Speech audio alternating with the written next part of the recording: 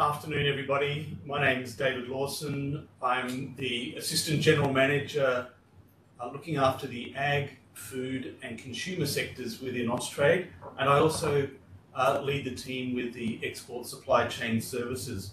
I'd like to welcome you today to the fourth in our uh, industry briefings on the Export Supply Chain Services.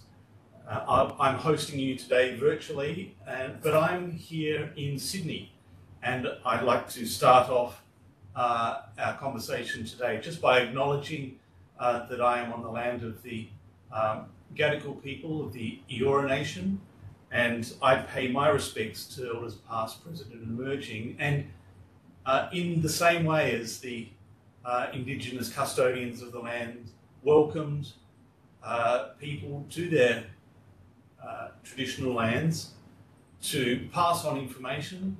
I hope that in the same spirit, no matter where uh, you are, that uh, that you come to this gathering today with the uh, objective of learning uh, and and passing on of passing on of information, as the Indigenous custodians of the land have always done. Um, for anyone on the call who is unfamiliar with our program, the Export Supply Chain Services is an Austrade initiative that was kicked off in August last year by Minister Farrell. Um, and it's a process by which we, we uh, gain insights and, and gather intelligence from conversations with, uh, with industry stakeholders uh, in uh, the supply chain ecosystem. And, and we've been sharing that information through uh, the fortnightly snapshots, and I hope you've all been receiving those. Uh, if you haven't, it's a great opportunity to sign up. Um, and we've also been um, sharing this information through public webinars uh, such as this. Um, most importantly, this is the information that we've gathered has also been really uh, useful in informing the government uh, on uh, how things are faring post-COVID, uh, how uh, the supply chain ecosystem uh, is improving um, and where the bottlenecks are. So um, we're glad that you can join us today for, uh, for this, uh, our latest uh, in the industry insights. unfortunately, Michael Byrne, our esteemed expert, is unfortunately unable to make it, but uh, we are uh, very pleased to be able to uh, uh have Patrick uh, Orth, who will be joining us and giving us the the deep insights into air and sea freight as as we've um, as we've been able to glean over the last few weeks. Um, for most of you, Patrick is well known. Uh, on the other end of uh, on the other end of the phone in conversations and, and is just a wealth of knowledge. Um, so we're really looking forward to, uh, to Patrick's update. Um, following this, um, you'll see that uh, we also have a special guest speaker, Nicholas Press, who is the CEO and Managing Director of Spectainer. Um, now, this is a spectacular uh, example of a great little initiative. Um, um, Nick, as the, as the founder of this company, uh, innovated with collapsible containers.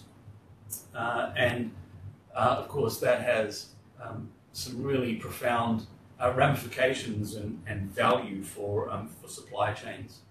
So, um, so the Collapsecon, the, or the collapsible, uh, collapsible shipping container, some of you might have seen it in the media, but we're really thrilled to be able to, to hear directly from Nick in person about his company we want to make this, uh, this session interactive as well. So you'll see on the bottom of the screen uh, reference to slido.com. You may already have that app on a phone.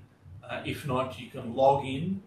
Uh, it's free, uh, but it gives you an opportunity to uh, join the conversation. So if there are any questions or comments that you have in relation to anything that you hear today, please feel free to, to engage, raise the questions, and at the end, uh, I'll be uh, hosting a Q&A, a Q&A session and we can, uh, we can have a little bit of a, a, conversation. You also have the opportunity to ask questions of, uh, of uh, uh, Nicholas as well regarding Spectainer.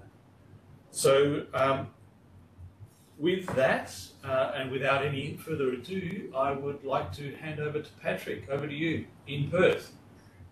Thanks, David. Um, good afternoon, everybody, East Coast, and good morning to those joining us from the West Coast. So, yeah, running you through the points today, and I thought I would just kick off with probably one of the key um, key points or the key focus shifts that we've seen this year in terms of air freight and sea freight, and it really has been a noticeable shift from the focus on um, clients and that talking about schedules, capacities, um, not being able to get capacity and those types of things last year and you know throughout COVID, whereas that really has now shifted um, to rates. Everything, all the conversations that we have, it's all based on rate. When when a rate's going to get better and those types of things. So hopefully my update will give you a bit of an idea on that.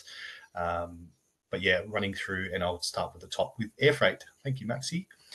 So flight numbers as of um, week ending 2nd of April. So we had um, 1,681 flights last week. So that was actually the first first full week of the northern summer schedules. So the flights did increase actually week on week, um, 6.6%. So that number, 1,681, represents 85% of pre-COVID numbers. So we did, um, if you saw our latest snapshot last week, we did make that prediction that numbers would get to between 85 and 90%. So yeah, it'll be very, very interesting, obviously, over the coming months, watching that number, you know, there's a lot of announcements coming on in the next couple of weeks with starts of flights. There's also announcements in May and also new flights starting in June. So, yeah, we do sort of expect that number to um, to hover around the 85 to 90 percent mark from now right the way through up until the end of October, when then we have to change the schedules again.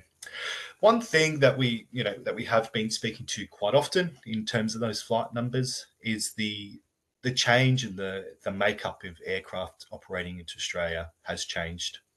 So, as an example, when we looked at these numbers in February, um, overall narrow body versus wide body, you had um, 65% of flights um, in 2019 were wide body, in February this year, that number had actually dropped down to 60%. So yeah, there, there, has been that sort of shift there, but also in terms of the, you know, even the wide bodies that are operating have changed. So instead of seeing a lot of triple sevens and those sort of really good good passenger aircraft, but also good cargo carrying aircraft. That has dropped away a little bit with the introduction of aircraft like the A350, the 787. While they are good cargo aircraft. Um, they don't sort of have that capability of a triple seven, especially when the passenger figures are really really high which is something um, you know we've all heard about the revenge travel. So yeah the you know there has been limitations at times in terms of getting capacity on those aircraft. So as you can see on the slide there in terms of global air freight pricing um, it continues to come down globally so, you know, having a look at last week's numbers, pricing was down 32% globally um, compared to the same time period last year. If we were to talk about export freight rates, as you can see on the screen there, they have remained fairly steady over the last 12 months. And, you know, even on some routes, as you can see there with um, North America and the Middle East, um, some of them have actually gone up over the last 12 weeks. So that's really just down to, you know, supply and demand. And especially with the US, that is probably one of those markets that we know uh, that there still remains some challenges in getting freight capacity. Not helped by the fact that we lost um, 17 flights at the start of Northern Summer scheduling, with United Airlines dropping 14 flights and Delta dropping from 10 flights a week down to seven. So that lane, as I mentioned, already has pressure. So the removal of that, which you know it could equate to 90 to 100 ton per week or 300 cubic, um, yeah, it really puts pressure on that lane again. The other one being New Zealand, but what we've heard in the last few weeks, there has been some relief with some new flights starting there. I saw that Emirates restarted some flights Sydney to Christchurch last week as well. So there is a little bit of relief for New Zealand, but you know that market has always been a pretty hot one. Um, so with the freight prices, you know, eh, the reason that they remain as high as they are is just the input costs remain really, really high for airlines. So just um, you know, the biggest input cost for airlines is their fuel, jet fuel. So that takes well, that, that accounts for 20 to 25 percent of their overall operating costs. So the jet fuel pricing, while it has dropped down below $100 a barrel, it's getting very, very close to 2019 numbers. Um, the numbers are still very, very high. You know, 2019 was actually a, a quite a high year for, for jet fuel pricing. Um, there is discussions or there is talk that freight the sorry the jet fuel pricing will come down again. You know, continue to tumble this year, but yeah, it's all a little bit in the unknown um, in that space with you know what's going on and the global volatility at the moment. Not surprisingly, as well, with those input costs, you know, it's the extra costs that the airlines are sort of uh, taking in at the moment as well.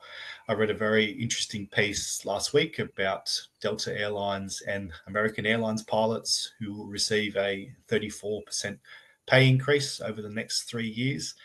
And, you know, that's a huge number, right? And it's not only that segment, you know, you're talking about the suppliers to airlines, ground handlers, and all those things all their costs have gone up and all those costs have flowed onto airlines, which, you know, in the obvious thing, which obviously um, is keeping air freight pricing higher, but also is um, keeping your ticket prices high as well. So there was a quite an interesting stat there you can see at the bottom of the slide around the new routes which were operated in 2022. So there were 3,580 new routes across the year. So a new route is basically something that hadn't operated in the past. So across the 377 airlines, um, 76% of those new routes launched were operated by narrow body aircraft. So again, it just sort of comes back to you know the changes in the makeup of airlines and what the types of air um, aircraft that they're operating across the globe has shifted. It was pre-COVID, there was you know that shift was happening already, but now yeah, it, it's in full swing. So with the improved capability of narrow body aircraft to operate longer distances, yeah, I think especially for Australia and certain ports in Australia, there'll be a lot of growth in that sort of narrow body market. You know, you're looking at Cairns, Perth, those type of smaller markets. Yeah, I think the growth in international flights for those markets will really come from from narrow body, which unfortunately isn't isn't great or helpful for for the freight market. On a full passenger load on a narrow body aircraft, you're looking at you know either either zero or very very little cargo uplift, and if there is cargo uplift, it would usually be the likes of mail or um, sort of any other those sort of express products and things like that. One positive um, that we've sort of been talking to over the last couple of weeks is the increased deliveries expected from from the big manufacturers in 2023, and notably a lot of a big increase in the deliveries of, of wide bodies. So Boeing and Airbus, um, you know, they've had a, a, pretty challenging couple of years with, like everybody else, with supply chain issues and things like that. This year, they expect to deliver more 787s and A350s than they had done in 2019 and 2018. So that's good for a lot of airlines. There's a lot of airlines out there waiting on aircraft. Qantas um, here locally is getting three new 787s this year. Speaking with Air New Zealand, they're they're waiting on a couple which I think are either delivered late this year or early next year. So those deliveries, um, you know, for certain airlines, are they're really holding up that that growth back into markets they've served previously or or new markets. So with that, you know, with the new new aircraft coming on board, we sort of expect, um, you know, towards the end of this year, next year, there'll be that really another big rebuild and another big restarting of certain lanes with um with the new aircraft being delivered. A lot of the you know the airlines obviously took the opportunity to get rid of um, those older, really gas guzzling aircraft during COVID but with the delays that we've seen, yeah, they just haven't had the um, the aircraft, and at times haven't had the crew um, to build those lanes back up. All right. So with that, I will now jump across to the state of sea freight. So as you can see on the screen there, um, we do have the figures for February, but it didn't shift a lot from from January. So it's remained pretty steady now um, from November, Jan- from, from November, December, and January. Um, that is a number, that 56 or 52.6% there is a global number. So one thing that we do speak of, you know, on our calls is what's sort of happening down in our region. As you can see there, Oceania as a whole is still only at around 36%. While it, it is seeing improvements, uh, there's still a long way behind what's happening in the rest of the globe. So speaking to shipping lines down in this region, though, they're, they're starting to see some some really really good improvements in how they're operating around Australia. ANL, as an example, they were above for, for their vessels. They were above seventy percent in, in January, so those numbers are pretty good. And you know, seventy percent between seventy and eighty five percent is is a, a good number and comparable to what what was happening pre-COVID what sort of has and continues to drag the numbers down for Oceania is what has happened in New Zealand.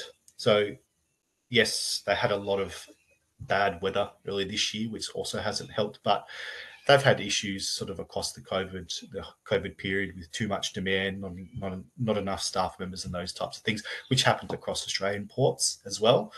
Um, what New Zealand is doing, um, it actually was implemented from last week they're actually they've reinstated fixed berthing windows.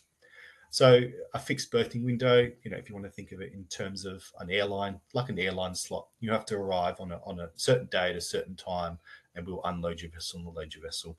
So those so shipping lines are very, you know, are looking forward to that, you know, having that capability and that option that if they're going to turn up on time, then they're going to get served in time. The, the vessel will be unloaded and loaded what it may bring, and it's very hard to judge what's going to happen with this just yet, is with those berthing windows, the, the shipping lines may be restricted in the amount of lifts that they do.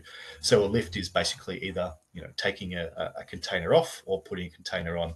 So at the moment, they're not restricted in the amount of lifts that they can do, but to help these New Zealand ports sort of keep the, the fixed berthing windows in place um, shipping lines are likely going to have to agree to a, a, certain amount of lifts per vessel. You know, as an example, it might be 5,000, 2,000 imports, 3,000 exports, or something like that. So it's it's a bit of a payoff, but when you speak to the shipping lines, getting that schedule reliability and those types of things back, um, that will be the big improvement, and that's going to help them markedly.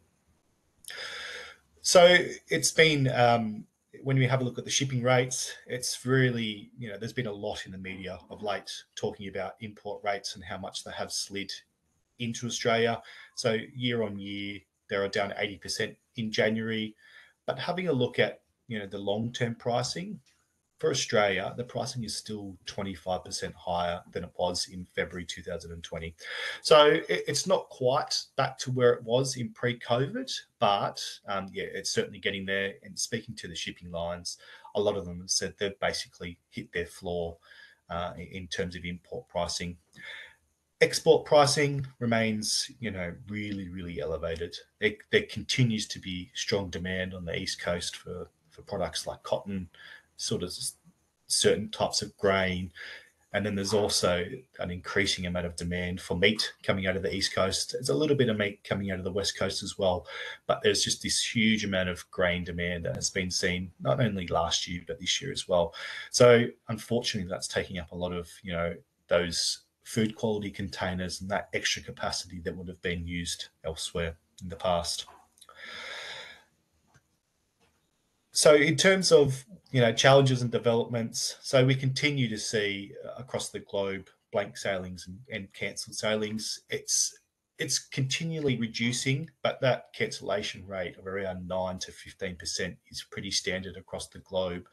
Australia is seeing continues to see a lot of cancelled and blank sailings. I um, yeah I get updates daily from most of the shipping lines, and yeah they're omitting ports and those types of things just so they can get their schedules back on. We expect that to sort of continue happening for the next couple of months. A lot of the shipping lines have started, you know, some new new scheduling out of Australia, so it takes them a little bit of time to sort of get those get those new schedules and those new routings bedded down. So we expect that to happen across the next couple of months, although it is has reduced a lot compared to COVID. In terms of uh, one of the really interesting things we've seen across recently is the delivery of new vessels. So in the last two months, there's been five different vessels delivered, um, all over 24,000 containers plus. So it was quite an interesting four to five weeks where those those vessels, those containers, those vessels were delivered, and week on week they became you know the biggest vessel container in the world and then the week after they became the vessel biggest vessel container in the world. So that sort of tells us that you know shipping lines are continuing to um, shipping lines are continuing to invest in the future um, but there's still a lot more capacity out there than there is for demand.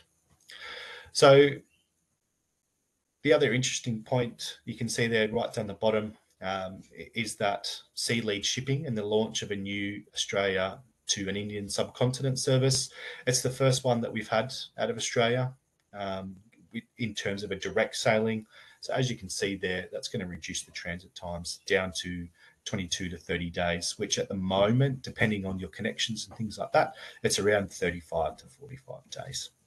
The other couple of points I just wanted to touch on very quickly um, in terms of the industrial relations landscape, it's something that we're watching quite closely here in Australia. Obviously, with Svitzer and you know that what is happening there is something that not that we have any control, but it's going to be interesting to see how it plays out. But also a couple of the stevedores having EBA negotiations throughout 2023. Uh, I think it's just you know shippers they need to be mindful that we're not certainly not out of the woods yet with that type of um, what's that what's happening you know, have a look at what's happening across the globe in Germany at the moment. You know, Australia is not um, going to get away from that. We just need to be aware and, and ready for something like that to happen. But uh, that is it from me. David, I think I'm throwing back to you. Excellent. Thank you. Uh, always, uh, always interesting. And I see we have a, a, a question on Slido. Um, uh, don't forget everybody, www.slido.com and if you uh, register there with ESCS or the Export Supply Chain Solutions, ESCS, um, you can join the conversation and add your question uh, and um, uh, we'll be able to get to them at the end. But thanks very much um, for that. I'm, I'm mindful of uh, a comment that Michael made um, Patrick, in one of the earlier um, briefings. Just you, you were talking about the air freight there. I'm mindful of the fact that uh, the Michael once said that um, if you're waiting for a cheaper airfare, book yesterday. Um, so with that in mind, Easter holidays, you know, coming up now, and, and people starting to think about Christmas. It doesn't look like we're going to get any uh, any uh, um, salvation on the uh, on the airfare front. So um, that, that's sobering news. But anyway, look, uh, thanks very much for your great insight there, Patrick. Um, I'd now like to introduce uh, Nick um, from Spectainer. So um, in 2008, Nick was a logistics officer with the Australian Army and uh, realised there was a fundamental problem with how logistics uh, and supply chains functioned uh, and, and uh, specifically uh, tweaked to the fact that there are um, um, imbalances just with uh, where containers are, where they where they're not. Uh, there are cost issues, there are safety issues, empty containers accumulating in the wrong place and uh, you know not where they should be. So we, we call it container imbalance. Uh, and you know we, we talk about that uh, in the export supply chains um, briefing documents. But um, Australian exporters have been particularly susceptible to this, uh, and especially food grade um, containers. So um, there are other um, collapsible containers, um, but Spectainer is ours. It's, uh, it's an Australian uh, uh, invention. It's some great uh, intellectual property and some great ingenuity. And uh, I'd just like to hand over to Nick, who will tell us about how he solved this from a from the container imbalance from a holistic um, um, perspective uh, and build it up to an industrial scale.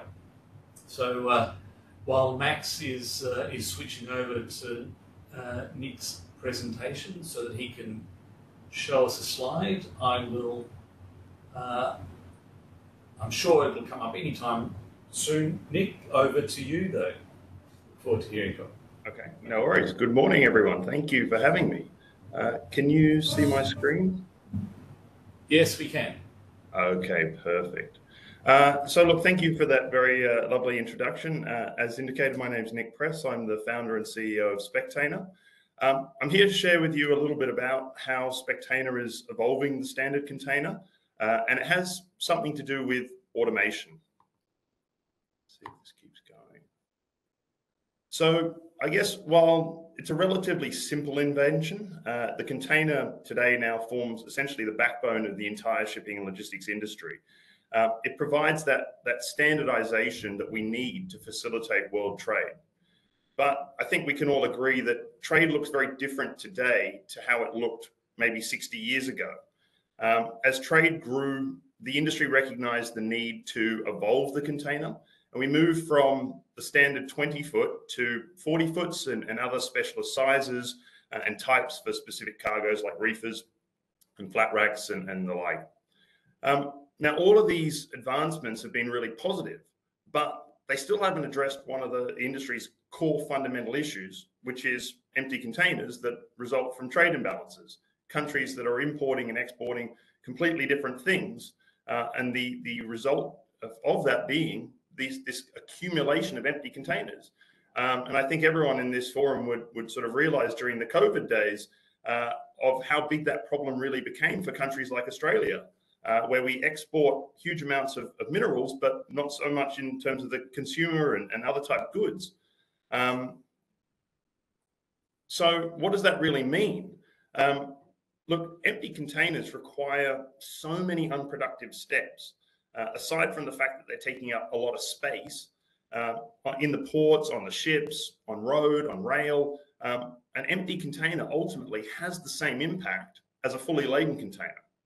Um, this is where evolving the design can offer some real and lasting benefits. Uh, we can increase the fleet availability, we can reduce bottlenecks, uh, we can improve vessel efficiency, and most importantly, going forward, we can start to reduce CO2 emissions. Uh, so we need to start considering the role collapsible containers can play in tomorrow's sustainable shipping. Now, I'm very much the first to admit that this concept is not new. There's been many types of collapsible containers over many decades. Uh, in fact, we have a few competitors in the market today. But one of the biggest missteps with all these designs and, and other solutions that have come before is that they've been seen as a universal replacement for the standard container. And I can tell you, collapsible containers are not meant to be a standard replacement. The standard box is actually quite efficient on many trade lanes that are balanced. But when we look at the numbers when it comes to imbalanced trade lanes, which Australia is one, um, we're talking about millions of containers movement annually. And that's where collapsible containers can have a really big impact. But as I just said, we're, we're talking a lot of containers on very imbalanced trade lanes, um, approximately 60 million empty movements a year. So any solution from a collapsible perspective has to be able to operate at scale. And this is where Spectainer is pioneering an evolution in the container, not by just the container, but by through a holistic, automated solution that's capable of meeting the needs of the industry, not just now, but over the next few decades. And what is our solution? Our holistic solution is designed to operate containers on a global scale. Collapsecon, which is our collapsible shipping container, is the first horizontally collapsible container designed to work in tandem with the world's first automated collapsible, automation station called the COS, Collapsecon Operating Station, combined with IoT and a suite of support services.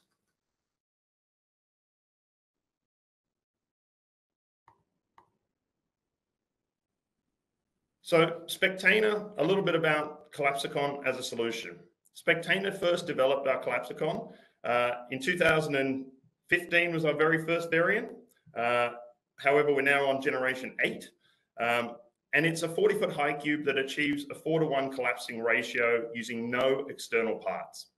Uh, so to elaborate on this a little bit further, I'm just going to touch on a little bit about functionality uh, and the other elements on the screen. So firstly, from a functionality point of view, unlike collapsible containers of the past, Collapsecon requires no manual handling, and I'll, I'll, talk about that a little bit more when we get into the COS in a second. This ensures that these collapsible containers don't suffer from extended wear and tear caused by operators mishandling or dropping or um, abusing the systems with forklifts and the like. Most importantly, however, it also ensures that the security of the contents can be maintained because any container that can be manually manipulated doesn't ultimately prevent someone from compromising its integrity and getting inside. From a materials point of view, um, while the traditional container is made predominantly of steel and wooden floorboards, I think it's fair to assume that it's not exactly the most environmentally friendly product to produce, particularly at scale. Um, we're looking at this quite seriously. Uh, one of our investors actually is a, a, company, well, everyone would know, BlueScope Steel. Uh, and so what we're actually looking at is how do we optimize both steel in production and also the type of steel we use in time. Now, the current version of the system utilizes off-the-shelf steel like every other type of container, as well as off-the-shelf wood paneling. Um, however, one of the things we're investigating is the utilization of green steel going forward. Obviously, that technology is still being developed, but it's something that we're very conscious on in our material side going forward. Um, from a manufacturing point of view, we're ultimately changing the very nature of how manufacturing of containers is done. If anyone's gone on YouTube before and seen container production, it's essentially very big uh, assembly line, a bit like a car production facility. Um, but unlike a traditional container, Collapsecon is actually six sub-assemblies. Consists of a floor, a roof, two sidewalls, and two end frames. And what the move to sub-assembly uh, manufacturing means is that we actually can create greater efficiency in the manufacturing process because we can actually run parallel production lines where we have sub-assemblies produced more efficiently and then joined together at the end. Um, maintenance is probably one of the biggest ones we get asked a lot about. Uh, obviously, things with moving parts tend to require more maintenance. Um, the fact that Collapsecon is actually six sub-assemblies means that we can re-look at how a container is viewed over its lifespan, particularly with regards to maintenance and damage. Um, generally speaking, when you look at a container, uh, when it the cost to repair outweighs the asset value, the container is generally written off or put into a seconds market. But because we have a six sub-assembly approach, this means that instead of writing the container off, we can actually remove entire sub-assemblies, say a whole wall or a whole floor, and we can replace it with either a new or one that comes from our spares pool. And of course, this would still require us to recertify the container and make sure it's all good for, for use. Um, but what it does mean is that the it extends the life of the container a lot longer than the current standard container, as well as reduces the environmental impact of producing or at least writing off uh, a lot more containers. And then the last point I'll touch on here from a maturity perspective is generally speaking, when we think about a container's lifespan, we think it's about somewhere between 12 to 17 years, given how well or badly treated the container is. Um, but again, by replacing this sub, the container sub-assemblies, what we're able to do is actually extend the unit's life well beyond 17 years. And while maintenance is still required, theoretically, the potential to extend the life out to 30 years now becomes a real opportunity. And of course, that means that we can look at less fleet replacement, uh, less production requirements, and, and most importantly, less environmental impact. But as you can see on the screen here, when it comes to utilization in an operational context, it's a 40 foot high cube. It combines four to one, three to one, or two to one. It's ISO and industry standard, so it, it meets all the ISO, CSC, and all the rest of the requirements. Uh, and it's 76.6 cubic meters. So you treat it exactly like a normal container for all your goods. Um, but as I said earlier, the container is only one part. So I'd like to now introduce uh, the automation aspect of the holistic solution. So let's just see if my screen works. Yes. Is that playing a video? Or is that just a blank screen? Oh, I can see it. Yep, and it's moving. Okay, perfect. That's what I like to hear. So, as I said before, while the while the container forms the nucleus, uh, understanding the environment in which the container needs to operate is essential. we're not talking about a couple of hundred containers. We're talking about a hundred, couple of, sorry, a couple of hundred thousand, if not millions of containers. Um, so in the past, collapsible containers have required multiple resources and a fair bit of time to collapse or expand the box. You've had to have multiple people interacting with it essentially. Uh, and this led to a dilemma in which not only has it been fundamentally unsafe for operators to get in and around these containers as they've been collapsing or expanding, it's also negated any of the savings achieved because the cost uh, to store, transport, manipulate uh, all these containers essentially ate into any of the cost savings you were going to generate. So at Spectainer, what we chose to do is deliberately separate the process of collapsing from collapsible, essentially separate the process from the product. And so the idea was to ensure low impact operations, efficiency, and most importantly, operator safety. So we pioneered what you see on the screen being the Collapsecon operating station. And as you can see here, what the machine does is essentially allow for the feeding of containers into the machine for it to then be collapsed, combined, and or separated and expand, expanded and separated. Now, this, this machine works two ways, as you're seeing in the video, whereby containers are simply dropped on the system, and the system will then take it in and pump out either a single unit or a combined unit. The process, as you see here, is, is either way. In this case, the single container is being placed onto the platform, uh, but vice versa, it works the other way. Let's go back.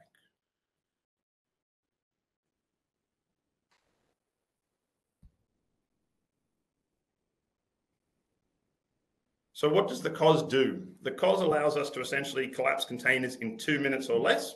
Uh, we're working on uh, getting it down, but two minutes is a pretty good start considering the majority of containers today that do collapse take approximately 20 to 30 minutes per container, uh, usually require three to four people, uh, a dedicated forklift or crane, um, and generally speaking, require people to get inside the container while it's collapsing. And you know, I'm prob- probably speak for everyone here, but I wouldn't be too keen on getting inside a 40 foot bit of steel while it's coming down. Um, so what that does do is ensure that that operator safety is maintained, as well as maintaining the system and reducing the wear and tear of it because it's a controlled activity. Um, the system is, as I said, fully automated, so it comes with a degree of sensors, uh, particularly safety sensors, to ensure that it cuts off if people are getting in and around the, the, the system. Uh, but it also is a modular system. Uh, so that entire system you see on the screen actually packs up and fits inside four 40 foot containers. So when we deploy this system, it essentially comes in modules. The modules are unpacked, they're put together, the system is commissioned, and then those four containers are used to run the cycles to make sure it's fully operational and ready to go. Uh, what that also means is that the system can be maintained to a high degree uh, where you don't have an individual element making the machine essentially break down and, uh, and, and stop operations. Every part of it is modular. So if a system part breaks, an entire module will be taken out and repaired and a new module will be put in plug and play.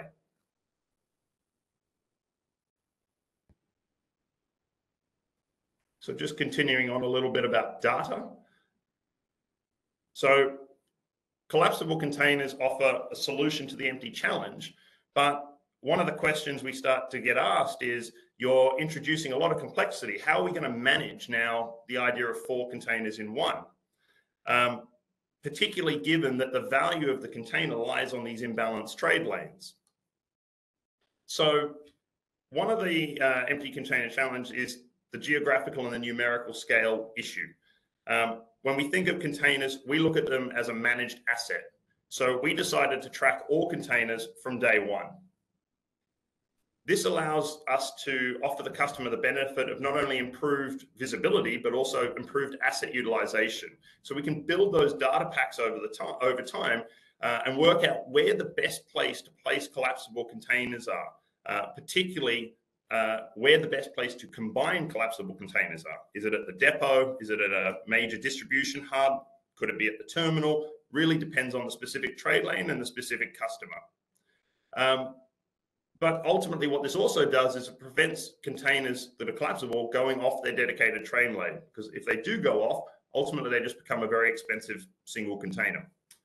Um, one of the most important innovations that we have developed is an innovative uh, measurement capability to measure CO2 emissions saved per container.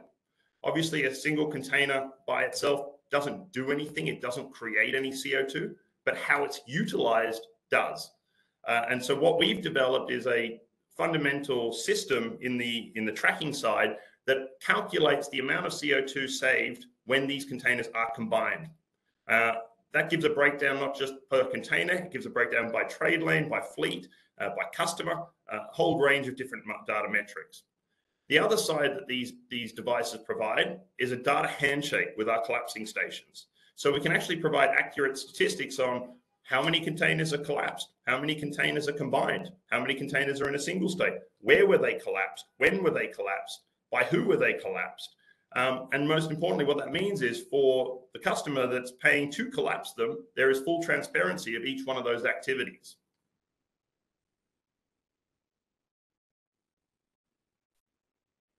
And you know, one of the other points we, we often get asked about is, okay, the, the technology all makes sense, the data all makes sense, but introducing a new asset class in an industry like this, with the quantity of containers you're talking about, it can become a little bit overwhelming. Um, so to insist the industry and also our customers in, in, in, finally integrating collapsible containers, Spectainers come up with a suite of services uh, to ensure that the products both perform effectively and efficiently and generate those cost and environmental savings. So this is all about collaborating with the customer over the long term so that they can realize the benefits of the solution. It's not about simply just giving a customer a product and saying, all right, there you go, you figure it out. Um, ultimately, it's about assessing the cost and the risk of investing in a new technology and easing that uh, through a simple model. And so we do that through a combined system of customer service, M&R management, online spares, fleet, IoT, our emissions and cost saving calculator, uh, as well as an innovation aspect in which we, we actually work with the customers to understand some of the elements that they want to either improve or new products that they would like to see integrated. And our, uh, our product development pathway looks very strong at this stage. So just to sort of round out a little bit on a value proposition here. What, what does this all mean? Um, so we define savings to be the difference between running a conventional container fleet and a Collapsecon fleet. And it has a, a, really big impact. So we, we define it by voyage savings, vessel savings, emission savings, and new opportunity savings. So by working with carriers to implement a holistic Collapsecon solution tailored to their specific trade lanes, there are many savings, and generally the consensus has been, I'll save 75%, four to one. That, that's not correct because introducing a system like this comes with its own costs. And so the savings still are substantial. They, they end up being somewhere between 20 to 60% for a carrier. So let's do a little bit of a case study, uh, a trade lane that I'm sure many on the, uh, on, the, on the call today would be familiar with, Sydney, So from a from a savings perspective, from a voyage perspective, we we look at essentially what would the imbalance, uh, sorry, what would the savings be uh, for Sydney to Shanghai, given that you've got about 150,000 TEU per month as of 22 uh, statistics, and about 68% of those export containers are empty. So let's say about 102,000 TEU. The impact of replacing just a thousand conventional FEUs with a thousand Collapsecons per week and just four of our machines. What does that mean? So for Voyage, we calculate about a 35% saving, which equates to about USD $27 million a year in empty container park, stevedoring, and slot costs. From a vessel perspective, we calculate about a 75% saving per, this is again, per 1,000 containers, uh, or about $5.5 million um, from loading and discharging 250 Collapsecon bundles versus 1,000 conventional FEUs. From a CO2 point of view, remembering that we're only talking about repositioning 250 Collapsecon bundles instead of 1,000 conventional, we can generate about a 37% saving to CO2 emissions, which equates to about 82,300 tonnes per year per 1,000. So, based on the introduction of the European trading scheme, uh, sorry, European emissions trading scheme, um, the trading price of carbon as of Jan 20, uh, sorry, as of uh, 2023 is now sitting at 97.5 uh, euros per ton. So that equates to about another $8.7 million in carbon savings. And then there are also other opportunity savings. And, and so in our modeling, we've looked at future proofing, uh, increasing trade growth, container volumes, and in turn, uh, container congestion that results in more and more empty repositioning without the same costs being incurred. Uh, and this ultimately leads to greater fleet utilization, improved vessel sailings, uh, as well as a reduction in future build requirements.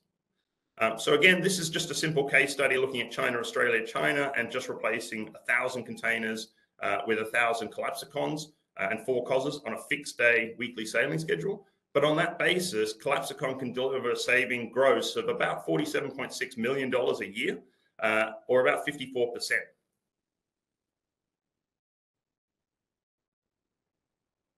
So, you know, as a, as a product innovator, it would be expected that my view would be the traditional shipping container is obsolete. We've got to all now move to this technology. The world is going to be fantastic. Um, I would, however, suggest that the 40 foot container still has a lot of life in it. It's still fit for purpose on many, many trade lanes that have a really good trade balance. But for those trade lanes that are significantly imbalanced, like Australia, China, like China, US, uh, like China, EU, for example, collapsible containers offer a much better solution for the industry going forward. And uh, particularly for the exporters who will ultimately gain the benefit of the CO2 reduction and the cost savings. Um, over the past few decades, the industry has looked to evolve the ships, the ports, added a lot of automation, uh, and even the way it operates to meet the new levels of global trade and meet new emissions targets. Um, but for the industry to become more operationally efficient, economically conscious, uh, and environmentally friendly, I believe that the industry must look to newer solutions and embrace this sort of change. Uh, the holistic automated Collapsecon solution offers the industry the ability to do just that. Thank you.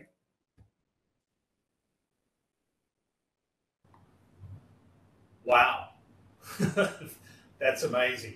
Really impressive. And, and we've got uh, quite a few questions uh, that have come in. Nick, actually, I'll, I'll start with uh, with a question that came in uh, from uh, Janine from uh, from Navia Freight, Freight when she actually registered with uh, to, to attend today. She she actually uh, sent a, a, question beforehand, and just to remind everybody, Slido.com hashtag ESCS if you want to get in on the conversation and see what people are asking. But but this is what uh, uh, Janine asked. Um, how many companies are out there producing this type of product? you, you touched on others, but how many? Now, are you seeing any success in any specific country? You, you know, you, you talked about China. You showed us a map of Vietnam. What, where, where, where have you had success so far? Uh, so to address the, the first one about other companies doing this sort of stuff, um, as I said in my presentation, th- this sort of technology is not new, and there are other companies doing this sort of thing. Um, there's a company out of Holland, there's a company out of Spain, and there's a company out of the US.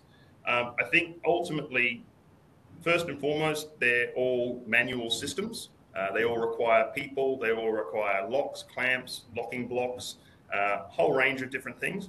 Uh, and secondly, none of them have automation. They are all very manual. Um, and additionally, they are all, let's say, different business models. We operate a pure leasing business uh, whereas they are predominantly build and sell. Um, so it makes it a very different value proposition for the shipping lines, and I think that's probably the uh, the, the, key point of difference between what Spectain is doing with our technology uh, and our solution versus what is out there and what has come before.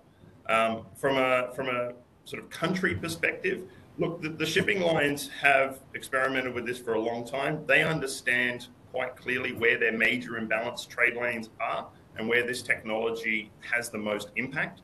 Uh, predominantly, it is production regions to consumption regions. So when we look at that, it's traditionally uh, Asia, specifically China, uh, to countries like the US, to Australia, and to the EU. They form the biggest um, imbalanced trade lanes where the technology has the most impact going forward. Mm, interesting. Question from me. Um, so it's not on Slido, but uh, who is your is your business model that you retain ownership, or or is the idea that you get a return from the ownership uh, um, through, um, I guess, a major shipping partner? So, so we're, we're a leasing company. Or, I mean, essentially, we are two companies. We're an innovation uh, company and we're a leasing company. Yeah. So what we do is, uh, firstly, we don't do any speculative building. We don't have fleets just sitting there.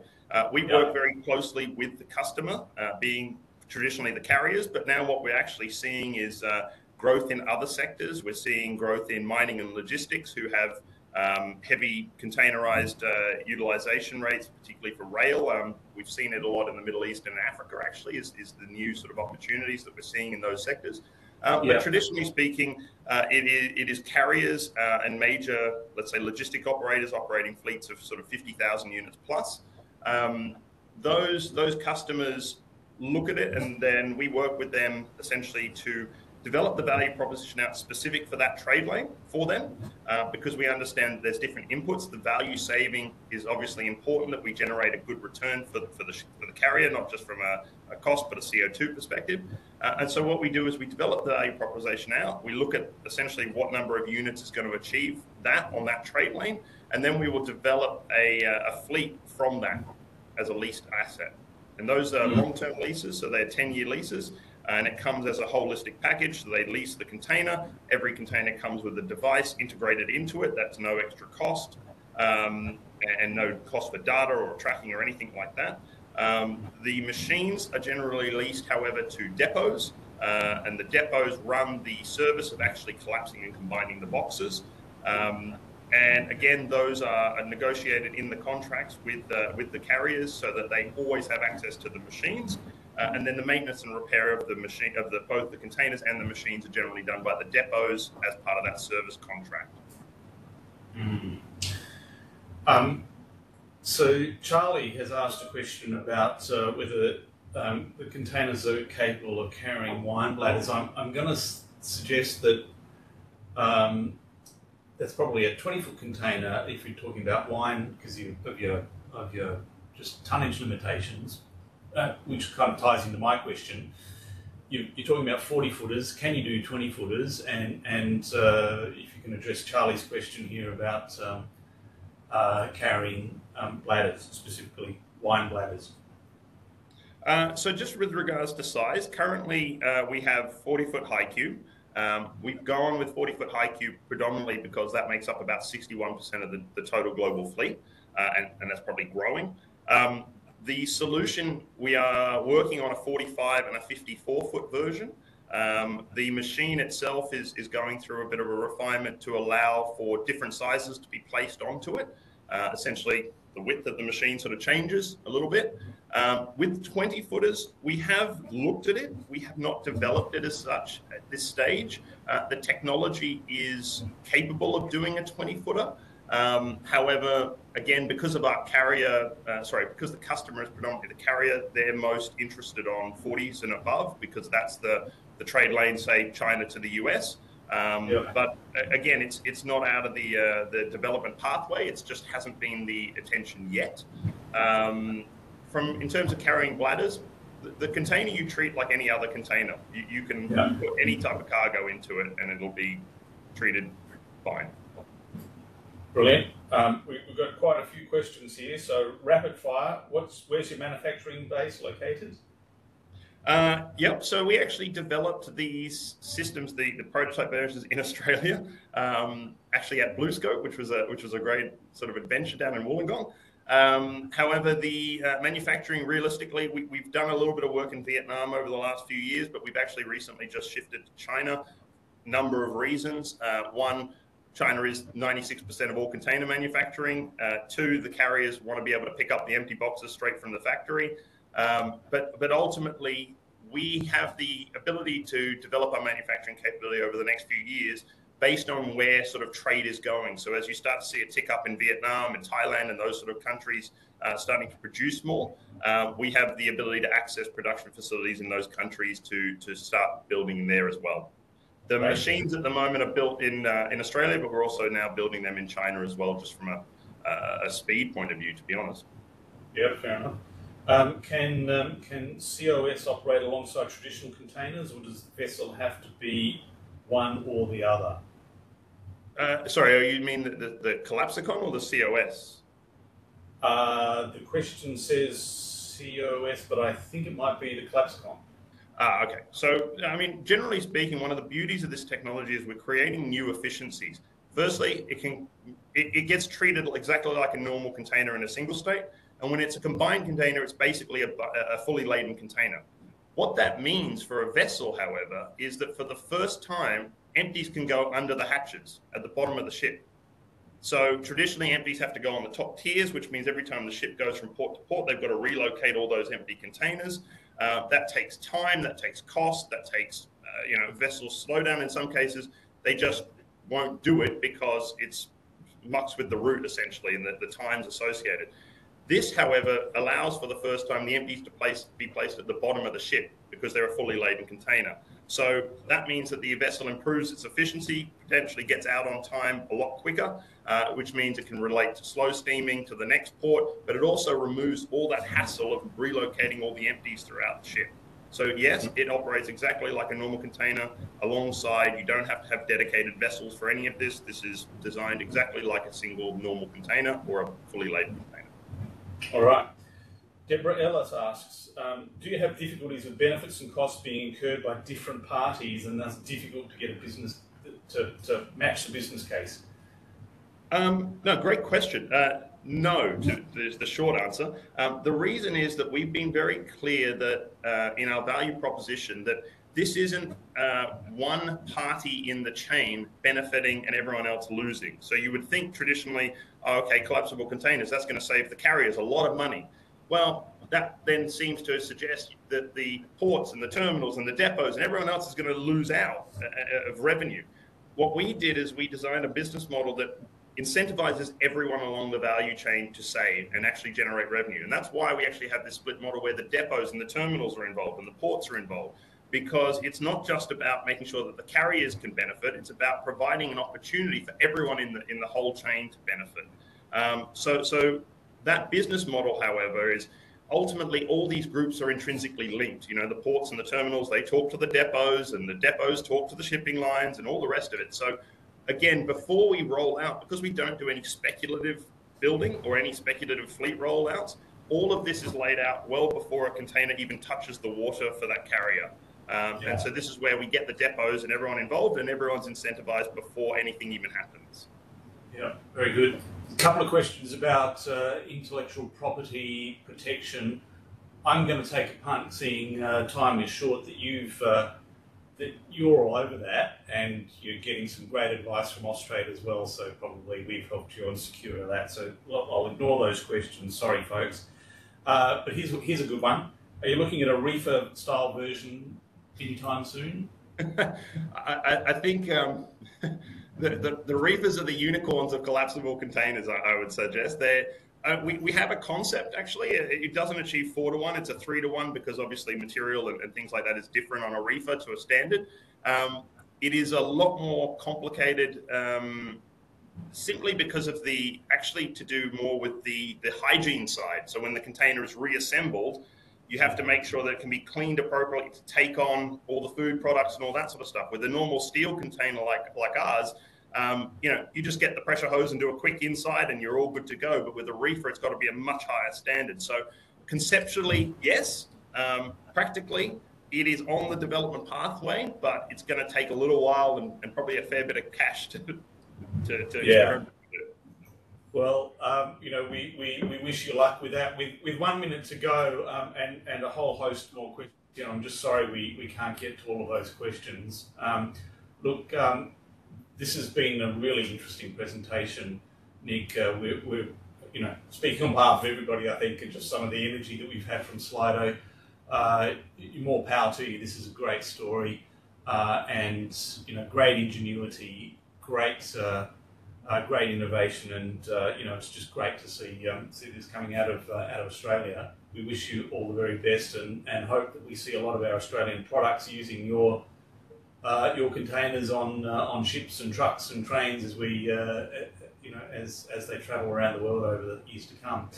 I, I do want to thank you, Pat uh, uh, Patrick Orth, uh, for anyone who joined late. Patrick filled in at the last minute because Michael wasn't able to make it, but just as a testament to the great work. And, and you are, Patrick, dealing uh, with all of the uh, the people that we're talking to. So you're, you're right across this material, and uh, just uh, that that just showed there's so many questions that we have of you as well. We've run out of time. Uh, thank you, everybody. We've uh, we've had a great roll up today, and we look forward to you joining our next one. if you're not getting the snapshots um, from the export supply chain service, please do register with us, and we'll keep you informed every fortnight. Uh, so thank you all uh, for your attendance today and thank you to the presenters as well. Over and out. Bye for now.